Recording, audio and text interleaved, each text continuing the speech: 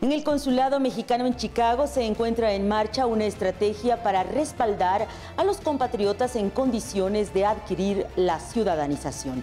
Se trata de darle poder político a la fuerza económica de los mexicanos en Estados Unidos. Una respuesta inteligente frente a la campaña de Donald Trump. Una respuesta que suma a la Fundación Juntos Podemos de Josefina Vázquez Mota, a la canciller Claudia Ruiz Massieu y a los activistas defensores de derechos humanos.